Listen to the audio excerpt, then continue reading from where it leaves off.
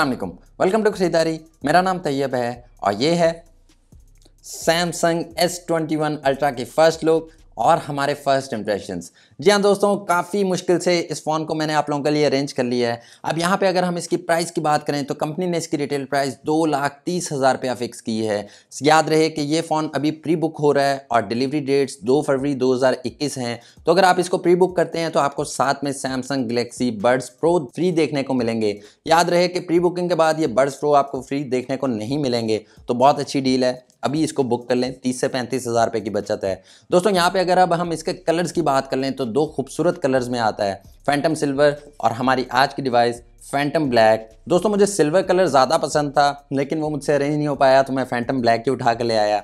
अब यहाँ पे वैसे तो ये फ़ोन खुद ही एक हाईलाइट है, फिर भी इसके हाईलाइटिंग फीचर्स की बात करें तो बारह जी बी रैम के साथ एक सौ अठाईस जी बी बिल्टन स्टोरेज है।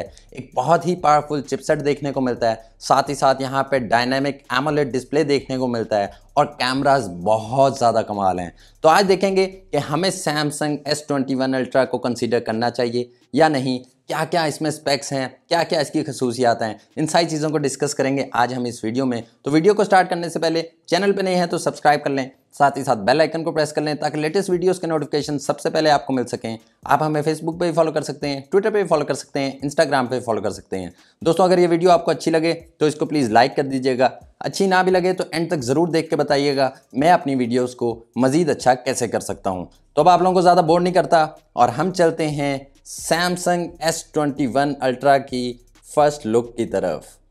ओके जी तो आज हमारे पास Samsung S twenty one Ultra दोस्तों फ़र्स्ट लुक फ़र्स्ट इंप्रेशन बहुत कमाल हैं। डिवाइस देखने में मुझे बहुत ज़्यादा खूबसूरत और प्रीमियम लग रही है। डेफिनेटली मैं कह सकता हूँ कि इस कलर पे बहुत ज़्यादा काम किया गया है सैमसंग की तरफ़ से और देखने में कलर काफ़ी खूबसूरत लग रहा है। दोस्तों बैक साइड पे इसका कैमरा मॉड्यूल है जो कि काफ़ी बड़ा और सॉलिड है। देखने में काफ़ी खूबसूरत लग रहा है। बैक साइड पर आपको कॉड कैमरा सेटअप देखने को मिलेगा। साथ ही साथ आपको लेज़र फोकस सेंसर देखने को मिलेगा।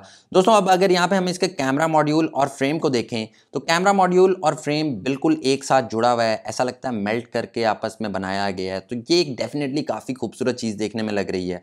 अब यहाँ पे अगर मैं बिल्ड क्वालिटी की बात करूँ तो बैक साइड इसकी ग्लास की बनाई गई है। और दोस्तों, यहाँ पे अच्छी खबर यह है कि गोरीला ग्लास विक्टस की प्रोटेक्शन मौजूद है, जो कि काफ़ी टफ और सॉलिड और सख्त लौंडा है।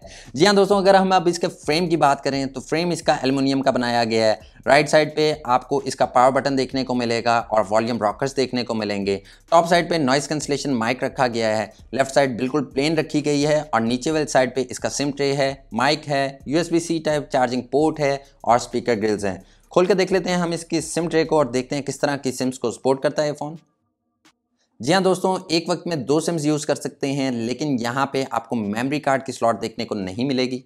तो ओवरऑल दोस्तों, यहाँ पे अगर हम फ़ोन के वेट की बात करें तो फ़ोन दो सौ उनतीस ग्राम का है। सुनने में काफ़ी हैवी लग रहा है, लेकिन उठाने में काफ़ी कंफर्टेबल और प्रीमियम फील दे रहा है।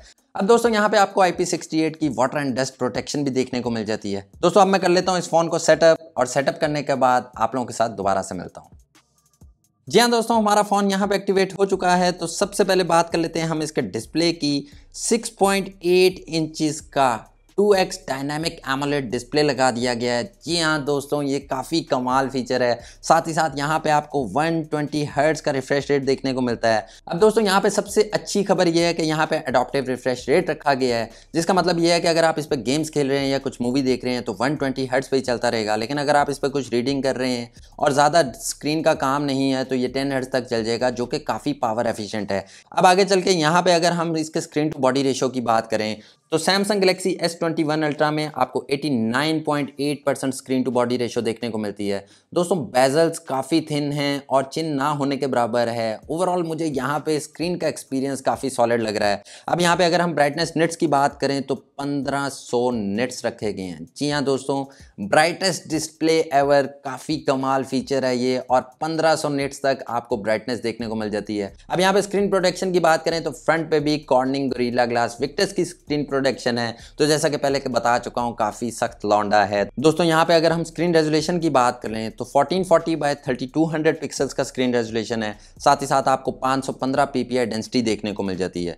आगे चल के हम बात कर लेते हैं इसके ओएस की। तो सैमसंग S21 अल्ट्रा में आउट ऑफ़ बॉक्स आपको एंड्रॉयड 11 की सपोर्ट देखने को मिलेगी, जो कि सैमसंग के अपने One U I three point one के साथ आता है। दोस्तों, यहाँ पे अगर अब हम इसके इंटरनल स्पेक्स की बात करें तो बारह जी बी रैम के साथ एक सौ अट्ठाईस जी बिल्ट इन स्टोरेज है। साथ ही साथ यहाँ पे आपको एक्जीनोस ट्वेंटी वन हंड्रेड का चिपसेट देखने को मिलता है, जो कि पाँच नैनोमीटर के आर्किटेक्चर पर बेस्ड है। और यहाँ पे अगर हम इसके GPU की बात करें तो आपको माली जी सेवेंटी एट का GPU देखने को मिलता है। अब दोस्तों, यहाँ पे अगर हम इसकी बैटरी की बात करें तो पाँच हज़ार की बैटरी लगाई गई है। साथ ही साथ आपको बॉक्स में से चार्जर देखने को नहीं मिलेगा। आपको अलग से बाय करना पड़ेगा। जी हाँ दोस्तों एप्पल की कॉपी कर ली है इन्होंने भी। और यहाँ पे 25 वॉट की चार्जिंग को सपोर्ट करता है ये फ़ोन आगे चल के दोस्तों, यहाँ पे हम इसके सिक्योरिटी फीचर्स पे बात कर लेते हैं। तो Samsung Galaxy S twenty one Ultra में आपको फेस अनलॉक और फिंगरप्रिंट दोनों की सपोर्ट देखने को मिलेगी।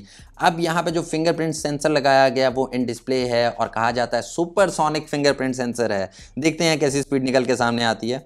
जी हाँ दोस्तों, काफ़ी सॉलिड काफ़ी कमाल और काफ़ी ज़बरदस्त स्पीड है। जस्ट स्क्रीन को टच करने की देर है और आपका फ़ोन अनलॉक हो जाता है।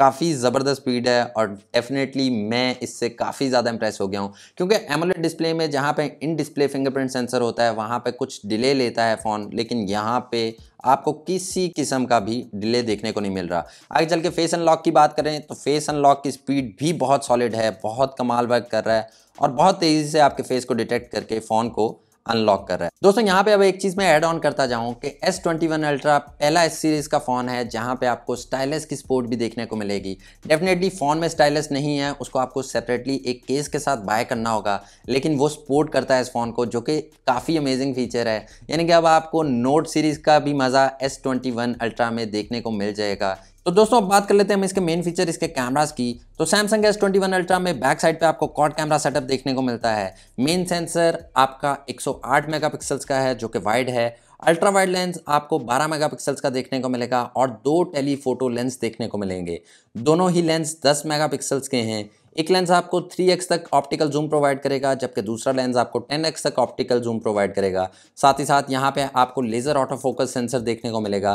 और एलईडी फ्लैशलाइट देखने को मिलेगी। फ्रंट साइड की अगर बात करें तो फ्रंट साइड पे आपका सेल्फी शूटर 40 मेगापिक्सल्स का है, जो कि इस पंच होल में है और देखने में काफ़ी ज़बरदस्त लग रहा है। खोल के देख लेते हैं इसके कैमरा को देखते हैं कौन कौन से मॉड्स अवेलेबल हैं। तो दोस्तों, सबसे पहले यहाँ पे आपको सिंगल टेक का मॉड देखने को मिलेगा। फ़ोटोज़ का मॉड देखने को मिलेगा, जहाँ पे आप मैक्सिमम हंड्रेड एक्स तक जूम कर सकते हैं। जी हाँ दोस्तों डेफिनेटली ये बहुत ज़्यादा जूम है। अब यहाँ पे इसकी पिक्चर क्वालिटी क्या रहती है, वो कवर करेंगे हम इसके कैमरा रिव्यू में। आगे चल के यहाँ पे आपको इसका वीडियो मॉड देखने को मिलेगा, जहाँ पे आप मैक्सिमम 8K पे वीडियोस को शूट कर सकते हैं 24 फ्रेम पर सेकंड्स पे। साथ ही साथ यहाँ पे आप 4K में भी वीडियोस को शूट कर सकते हैं 30 और 60 फ्रेम पर सेकंड्स पे।